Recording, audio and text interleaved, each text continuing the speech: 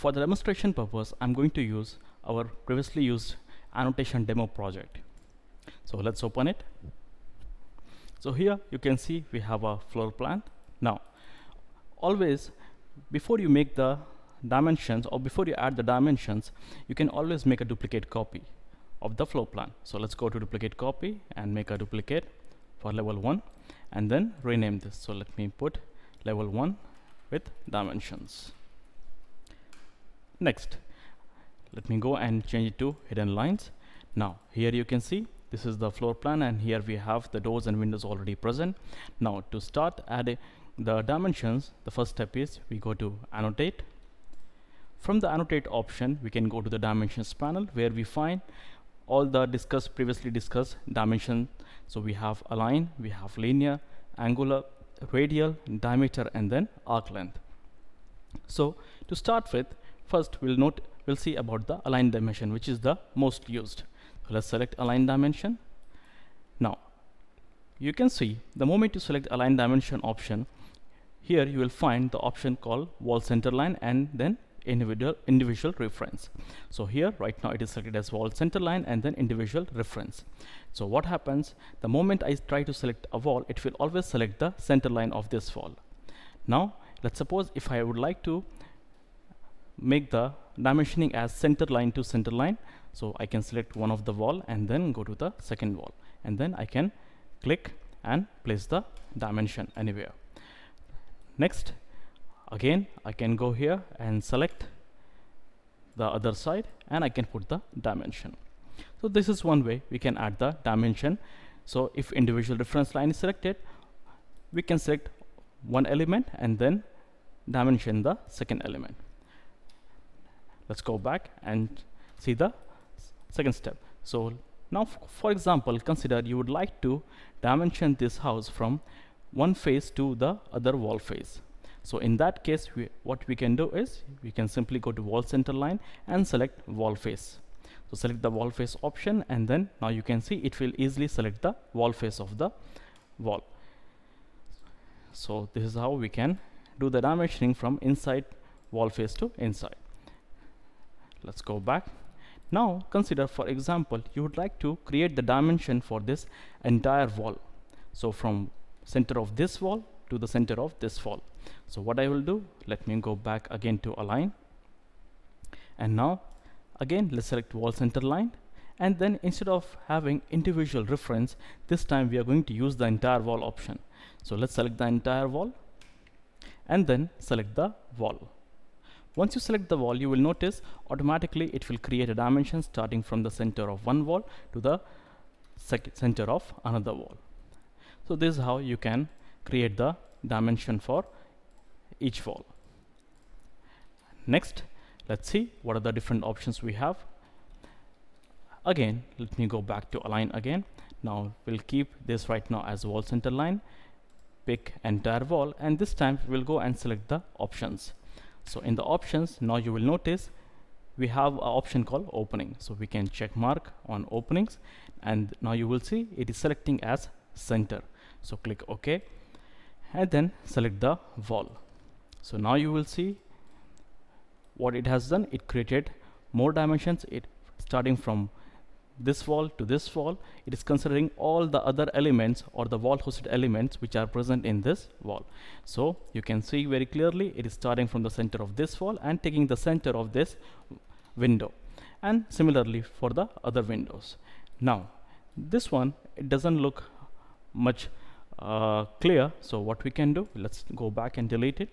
And let's go back again to align. And then in the options we are going to change it to width.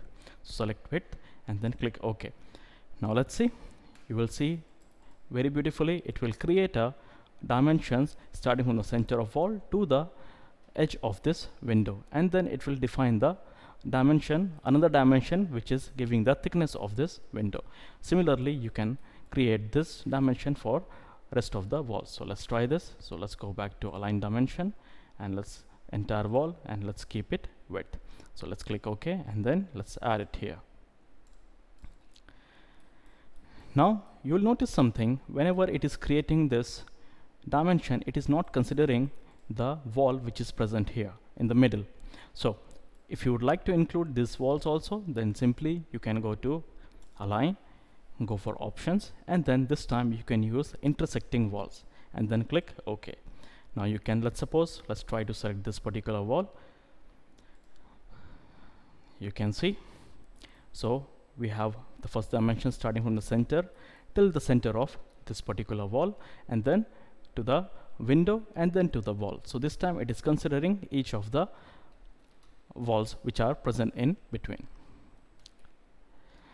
Similarly in case you have the grids present then if and you want to you want the dimensions to use that grids also so simply you can go to options and then you can check mark on intersection intersecting the grids similarly let's suppose you would like to move any one of the text of the dimension. So you can select the dimension and then you can use this midpoint and drag it.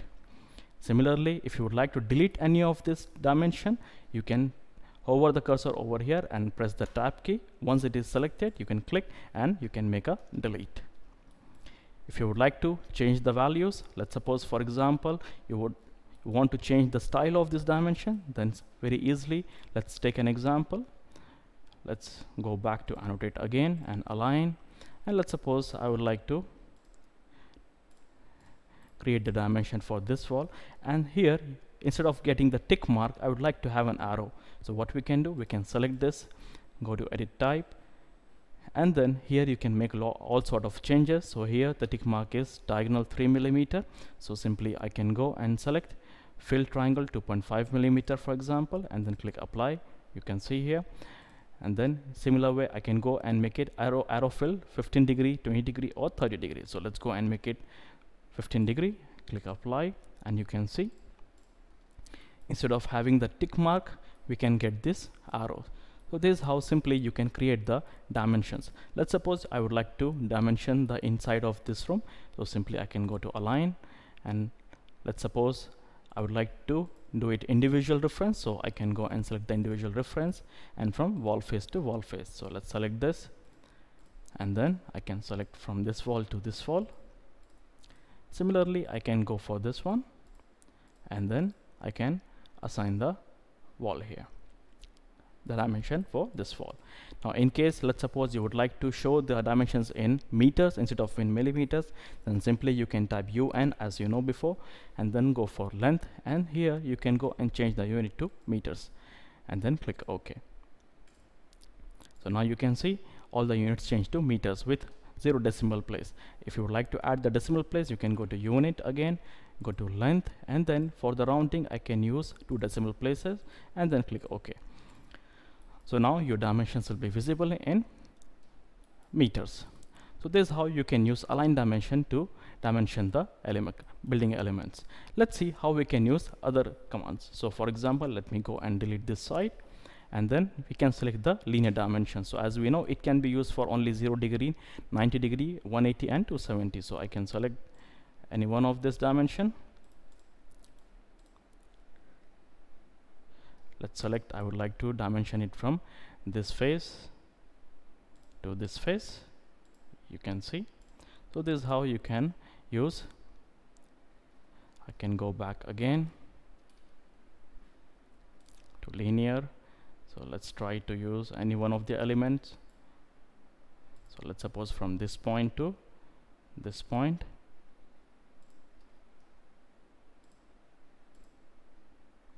this is how you can use the linear dimension.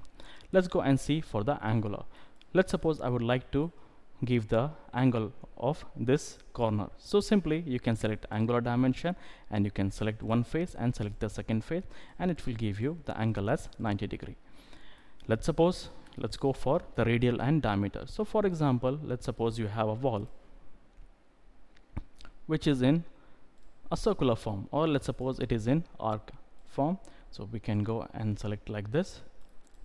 And you would like to dimension this using the radius or diameter we can go to annotate and then select radial. And I can select this arc uh, this arc wall and then you can see this is the radius of this arc uh, arc wall in meters. Similarly I can go and select the diameter and you can see this is the diameter. So I hope you like this video